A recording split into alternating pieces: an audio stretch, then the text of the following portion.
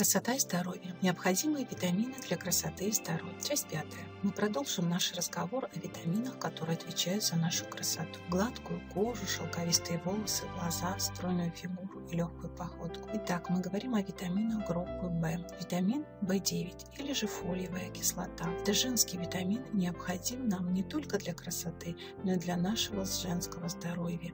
Витамин В9 участвует в синтезе белковых молекул, помогает продлить молодость не только кожи лица и тела, но и волос. Также фолиевая кислота чрезвычайно важна для женщин, в особенности для будущих мам. Именно она участвует в развитии мозга и нервной системы плода. Поэтому необходимо принимать В9 на протяжении всей беременности и лактации. Где же находится фолиевая кислота? Искать этот важный витамин В9 следует в зеленых листовых овощах, шпинате, листовых салатах, брюссельской капусте, брокколи, спарже, пивных дрожжах, авокадо, авокадо, апельсинах и землянике. Фолиевая кислота содержится также в печени трески, говяжьей и свиной печени, также в твороге, цельных злаках и бобовых. О других витаминах вы можете узнать в следующем видео. Нажимайте на кнопку, подписывайтесь на канал. Если вам понравилось видео, вы знаете, что нужно сделать.